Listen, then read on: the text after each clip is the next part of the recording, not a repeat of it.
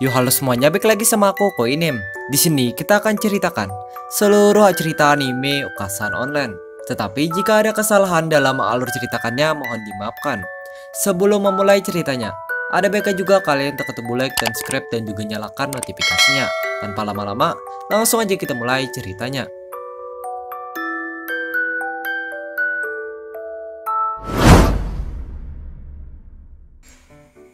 Cerita dimulai dari tokoh utama yang bernama Masato, yang di mana Masato merupakan seorang pemuda yang selalu kurang berhubungan baik dengan ibunya.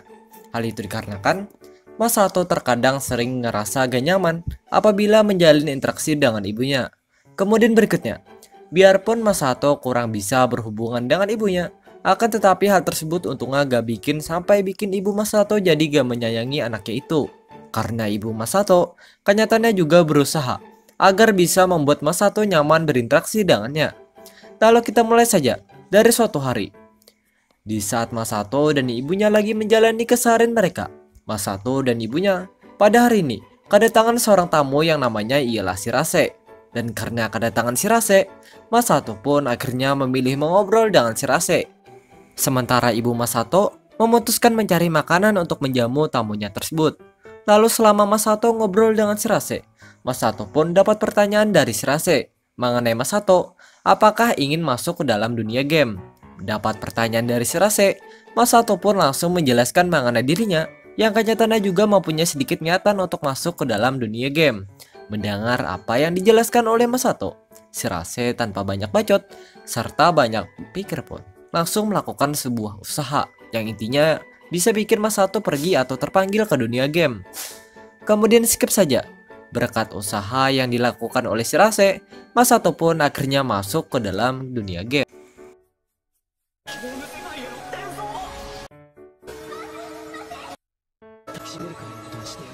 Selain itu, ibu Masato ternyata juga ikut masuk ke dalam dunia game tersebut. Lalu lanjut cerita, sehabis anak dan ibu ini masuk ke dalam dunia game ini, mereka pun langsung bergerak berinteraksi serta mencari informasi mengenai dunia ini dari seorang raja yang namanya ialah Raja Tanpa Nama, sebab nama raja ini gak dijelaskan sama animenya. Kemudian pada saat Masato dan ibunya menggali informasi dari Raja Tanpa Nama ini, mereka untungnya juga dapat beberapa senjata kuat dari raja ini. Lalu singkat saja, setelah cukup lama Masato dan ibunya berinteraksi, serta melakukan serangkaian kegiatan yang cukup banyak untuk dijelaskan, mereka pun akhirnya pergi dari tempat raja tersebut. Skip waktu, pada siang harinya, Masato dan ibunya waktu siang ini memutuskan membuka pendaftaran di sebuah bangunan yang dijaga oleh orang yang tak asing lagi bagi Masato dan ibunya, yaitu Shirase, dengan tujuan agar mereka bisa mencari anggota baru untuk menjadi anggota kelompok mereka, atau bahasa internasionalnya yaitu Farti. Kemudian pada saat mereka melakukan hal ini, Masato dan ibunya untungnya berhasil dapat dua anggota baru, yaitu dua pemain yang di mana pemain yang pertama merupakan seorang cewek loli yang bisa bikin para lolicon panas membara melihatnya, yaitu Porta. Sementara pemain yang kedua merupakan seorang cewek penyihir yang namanya ialah Wis. Lalu kita skip saja. Setelah Masato dan ibunya mendapat dua anggota baru, Masato dan ibunya serta para anggota kelompoknya langsung gas memulai petualangan mereka di dunia ini. Pada saat mereka melakukan petualangan, Masato, ibunya, serta para partinya memilih menjelajahi sebuah dungeon master dengan tujuan agar mereka bisa mendapatkan XP serta uang. Kemudian selama Masato, ibunya serta para anggota kelompoknya melakukan penjelajahan. Mereka saat penjelajahan ini pun ternyata cukup mengalami kesulitan. Hal itu dikarenakan mereka harus berhadapan dengan para monster yang lumayan ribet untuk dipataliti. Namun biarpun mereka mengalami kesulitan, akan tetapi kesulitan mereka beruntung gak sampai bikin mereka kalah Hal itu dikarenakan berkat senjata serta kekuatan yang dimiliki oleh ibu Masato, Masato dan yang lainnya pun akhirnya sukses menghabisi para monster di dungeon ini. Lalu berikutnya, skip cerita. Setelah lumayan lama mereka di dungeon ini, aksi mereka ini pun akhirnya ditutup dengan keberhasilan ibu Masato yang berhasil ultimate jutsu monster yang paling kuat di dungeon ini. Dan berkat keberhasilan ibunya, Masato dan kelompoknya jadinya sukses mengumpulkan banyak uang Selain itu, berkat keberhasilan ibunya juga, Masato pun akhirnya juga dapat misi spesial dari Shirase. Kemudian singkat waktu, pada keesokan harinya, Masato dan ibunya pada hari ini memilih memberi keperluan petualangan mereka, seperti pakaian atau perlengkapan lainnya. Sementara dengan Lolipurta dan Wish memutuskan menemani Masato dan ibunya membeli keperluan tersebut. Lewati saja. Selesai Masato, ibunya, Lolipurta dan Wish melakukan semua hal tadi. Mereka pun langsung gas beraksi menjalankan misi spesial yang didapat mereka dari serasi kemarin. Yang di mana misi ini memberi perintah kepada Masato dan para partinya agar melindungi sebuah desa yang bernama Maman dari gangguan seorang perempuan yang mengejutkannya juga merupakan Ibu Wis. Lalu selama Masato, ibunya, serta para anggota kelompoknya menjalankan misi mereka pun untuk disambut dengan baik oleh kepala desa Maman. Selain itu, Masato, ibunya, serta para anggota gengnya faktanya juga mendapat pelayanan yang baik dari kepala desa tersebut. Kemudian habis itu, waktu pun terus berganti. Hingga pada malam harinya, Masato dan para partinya saat malam ini pun udah mulai melakukan upaya guna melindungi desa Maman dari gangguan gak jelas dari Ibu Is. Lalu lanjut cerita. Setelah lumayan lama, Masato, ibunya, serta para partinya melakukan serangkaian upaya. Seperti berusaha menyadarkan Ibu Is hingga sampai Ibu Masato yang memutuskan berusaha mengalahkan Ibu Is seorang diri. Masato, ibunya, serta para anggota kelompoknya untungnya pun sukses mengalahkan Ibu Is. Dan berkat kesuksesan mereka, maka Ibu Wis pun jadinya memilih lockout atau keluar dari dunia game ini. Karena Ibu Wis ternyata udah gak ingin melanjutkan petualangannya di dunia game ini. Kemudian habis itu, hari-hari pun terus berganti. Sampai di suatu pagi yang cerah, di waktu Masato masih menjalankan aktivitas petualangannya bersama dengan ibunya dan para partinya. Masato dan Wis waktu ini lagi galau karena akibat kepikiran mengenai cara meningkatkan kekuatannya. Hal itu dikarenakan kekuatan mereka kenyataannya masih kalah overpower dibandingkan dengan kekuatan Ibu Masato yang faktanya jauh lebih fantastis dibandingkan dengan kekuatan mereka. Lalu berikutnya, di waktu mereka masih kepikiran, dua orang ini pun mendadak dapat jawaban dari masalah mereka, yaitu mengenai cara meningkatkan kekuatan mereka. Dan caranya ialah, mereka harus mengikuti pelajaran di sebuah sekolah khusus di game ini, dengan harapan agar kekuatan mereka bisa semakin menggila. Kemudian oleh karena jawaban itulah, Masato bersama dengan Wish dan Porta jadinya langsung berangkat menuju sekolah tersebut. Sementara dengan ibu Masato memilih gak ikut sama mereka. Di waktu mereka pergi ke sekolah itu, ada terjadi ketidaksengajaan yang bikin Masato jadi ketemu seorang pemain cantik yang memiliki tubuh yang sekelas Ondesan yang bernama Medi serta ibunya yang cukup nyebelin yaitu Ibu Medi. Dan karena ketidaksengajaan ini, Masato pun akhirnya juga mulai kenal sama Medi dan ibunya. Lalu sehabis itu, beberapa jam pun berlalu. Dan akhirnya, Masato, Wish, dan Porta pun sekarang udah mulai mengikuti pelajaran di sebuah kelas yang ada di sekolah tersebut. Selain itu, mereka pun ternyata juga satu kelas dengan Medi dan ibunya. Kemudian berikutnya, selama Masato dan kedua partinya mengikuti pelajaran di kelas ini, mereka pun sialnya malah dapat gangguan dari Ibu Medi, yang sialnya selalu mengganggu Masato dan sekutunya. Dan akibat gangguan Ibu Medi, Masato dan kedua CS-nya jadinya gak bisa mengikuti pelajaran di kelas ini dengan lancar. Lalu singkat waktu, pada siang harinya, waktu istirahat di sekolah ini pun akhirnya tiba. Selama istirahat, ada sebuah kejadian yang bikin Masato jadi tahu mengenai ibunya yang ternyata sedang berada di sekolah ini. Dan akibat kejadian ini, Masato jadinya memilih berbicara dengan ibunya. Selain itu, selama pembicaraan ini berlangsung, Wish, Porta, dan Shirase akhirnya juga ikut terlibat dalam pembicaraan ini. Kemudian skip cerita. Setelah cukup lama pembicaraan ini terjadi, pembicaraan gak terlalu penting ini pun untungnya berakhir dengan cepat. Lalu beberapa menit setelah kejadian itu, Masato dan para CS-nya saat ini harus kembali mengikuti pelajaran di kelas mereka.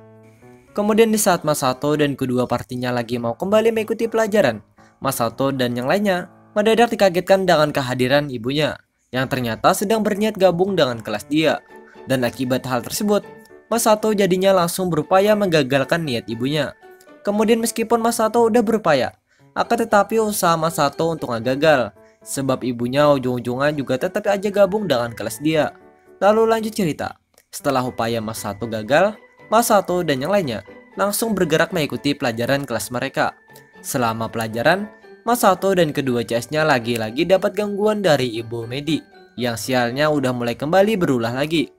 Namun biarpun Masato dan kedua partinya kembali dapat gangguan dari Ibu Medi, akan tetapi gangguan Ibu Medi kali ini untuk berhasil dilawan oleh item yang dimiliki Ibu Masato. Dan berkat keberhasilan item ibunya, Masato dan kedua CS-nya jadinya sekarang aman dari gangguan Ibu Medi.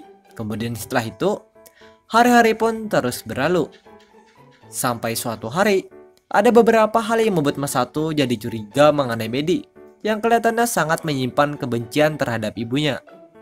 Dan akibat rasa curiganya, Masato dalam satu kesempatan pun memilih mengajak ibunya untuk menyelidiki mengenai kebenaran kebencian Medi.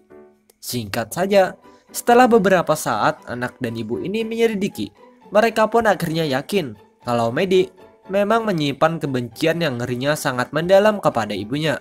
Kemudian lanjut cerita, beberapa hari sehabis hari itu, di saat Masato lagi ngumpul bareng bersama dengan ibunya, Wis dan Purta, Masato pun pada waktu ini memilih meminta bantuan Wis dan Purta agar membantunya menghibur Medi dengan tujuan agar kebencian Medi terhadap ibunya bisa berkurang. Mendengar apa yang diminta oleh Masato, Wis dan Purta memutuskan menerima permintaan Masato. Lalu karena mereka menerima, mereka bersama dengan Masato dalam sebuah kesempatan jadinya langsung berusaha menghibur Medi. Dan berkat usaha yang dilakukan oleh mereka, Masato dan para Jasya akhirnya sukses menghibur Medi. Selain itu karena kesuksesan mereka juga, maka rasa kebencian Medi pun tentunya juga makin mereda. Kemudian biarpun mereka sukses melakukan hal tersebut, akan tetapi kebencian Medi ujung-ujungnya malah kembali dinaikkan oleh kelakuan ibunya. Dan karena kelakuan Ibu Medi, Ibu Masato akhirnya memilih datang membantu Medi. Selain itu, karena ulah ibunya, Medi pun jadinya juga langsung berubah menjadi seekor monster yang cukup besar. Sehabis Medi berubah, Masato dan kedua CS-nya memilih menuruti permintaan Ibu Masato untuk menyelamatkan Medi. Lalu sementara dengan Ibu Medi, untungnya berhasil diurus oleh Ibu Masato. Kemudian selama Masato dan para CS-nya melakukan usaha, mereka ternyata juga dapat bantuan dari Ibu Medi yang untungnya udah berhasil diperbaiki sikapnya oleh Ibu Masato. Selain itu, Ibu Masato akhirnya juga memilih bergabung dalam usaha Masato dan para JS-nya. Skip cerita, setelah cukup lama Masato dan yang lainnya melakukan usaha mereka, Masato dan yang lainnya untungnya sukses menyelamatkan Medi. Lalu setelah itu, waktu pun terus berlalu. Dan sekarang, Masato dan kedua partinya sekarang udah lulus dari sekolah tersebut. Kemudian selain berhasil lulus, Masato, ibunya, serta partinya akhirnya juga mendapat anggota baru, yaitu Medi. Hal itu disebabkan Medi kenyataannya juga ingin gabung dengan Masato dan grupnya. Selain itu, Medi faktanya juga udah gak punya grup lagi di dunia game ini. Karena ibunya faktanya udah memutuskan lockout dari dunia game ini. Kemudian sehabis itu, beberapa hari pun berlalu dan kali ini, Masato dan grupnya masih saja melanjutkan keseharian petualangan mereka dengan damai. Sampai pada suatu ketika, ada sebuah hal yang membuat Masato jadi menemukan sebuah lembaran yang berisi tentang sebuah tower dungeon yang baru dibuka. Menemukan lembaran itu, Masato tanpa banyak mikir langsung membaca lembaran tersebut. Sehabis Masato membacanya, Masato langsung mengajak grupnya agar ikut dengannya menyelesaikan tower dungeon tersebut. Hal itu dikarenakan siapa saja yang berhasil menyelesaikan tower dungeon tersebut, maka dia akan mendapat hadiah berupa tawaran untuk meminta sesuatu kepada tower dungeon tersebut. Lalu kita singkat saja. Setelah Masato mengajak grupnya dan Masato dan grupnya pun langsung gas ke tempat tower dungeon tersebut.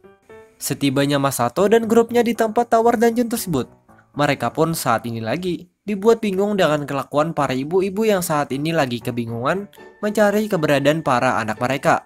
Kemudian lanjut cerita, setelah mereka bingung, mereka pun langsung bertanya kepada Sirase mengenai para ibu-ibu tadi. Sehabis mereka bertanya kepada Sirase, Masato dan grupnya dengan dipandu oleh Sirase tanpa banyak bacot, langsung gas memulai petualangan mereka di tower dungeon tersebut. Pada saat mereka menjelajahi Penjelajahan ini pun awalnya berjalan biasa-biasa saja. Sampai suatu ketika, ada sebuah hal ketidaksengajaan yang bikin Masato dan yang lainnya. Jadi gak sengaja bertemu dengan seorang cewek yang bernama Amante. Dan akibat pertemuan ini, mereka pun jadinya langsung terlibat pembicaraan dengan Amante. Skip saja. Setelah lumayan lama mereka terlibat pembicaraan dengan Amante.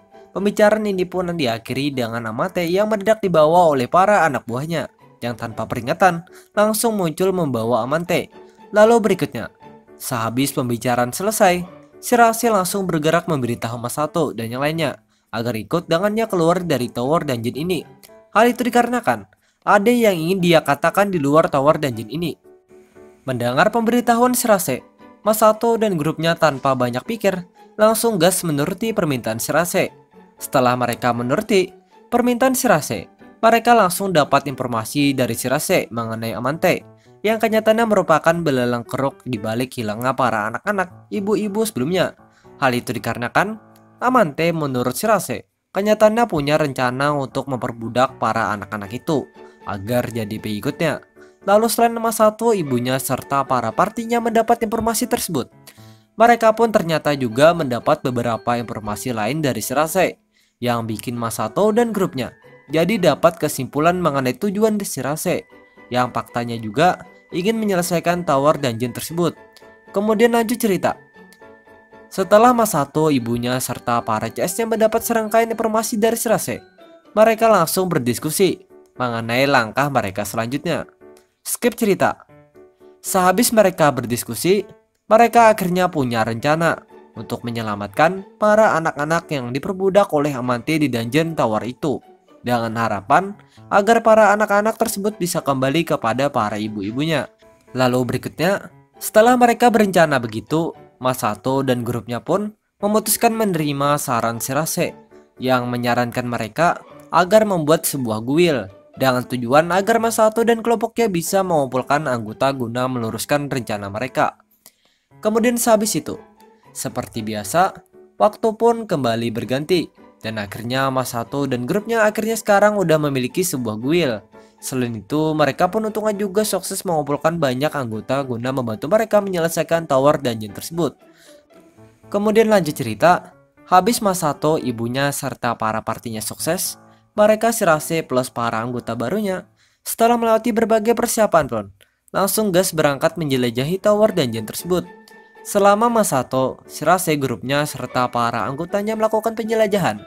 Mereka pun ternyata sering berurusan dengan Amante yang kenyataannya gak pernah capek untuk mengganggu Masato dan yang lainnya.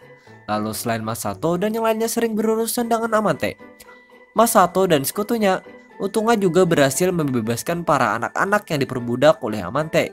Dan berkat keberhasilan mereka, Masato dan para kutu-kutunya jadinya juga dapat informasi dari para anak-anak itu mengenai tujuan Amante. Ingin memanfaatkan hadiah yang ditawarkan oleh Tower Dungeon ini untuk menghapus keberadaan para ibu-ibu yang ada di dunia game ini. Mendapat informasi itu, Masato, ibunya, serta para partinya langsung bergerak cepat berusaha menggagalkan tujuan Amanti tersebut. Selama mereka berusaha, mereka kurang beruntungnya harus terlibat pertarungan dengan Amante, yang sialnya juga punya kekuatan yang lumayan OV. Namun biarpun Amante lumayan OV, akan tetapi Amante pun pada akhirnya juga berhasil dikalahkan oleh Ibu Masato. Singkat cerita, setelah cukup lama Masato dan grupnya melakukan usaha, mereka pun untungnya sukses menggagalkan tujuan Amante. Dan berkat kesuksesan mereka, Amante pun jadinya langsung gas kabur dari tower dungeon tersebut. Selain itu, berkat kesuksesan mereka juga, Masato ibunya serta para CS-nya jadinya juga dibuat sebuah monumen atau patung oleh para anak-anak yang mereka selamatkan. Kemudian setelah itu, hari-hari pun kembali berganti. Dan kali ini, Masato ibunya serta para partinya saat ini lagi kembali melanjutkan petualangan mereka dengan aman, nyaman, dan damai. Dan berkat kedamaian itu, maka semuanya jadinya juga berakhir dengan endingnya bahagia dan ceritanya pun selesai.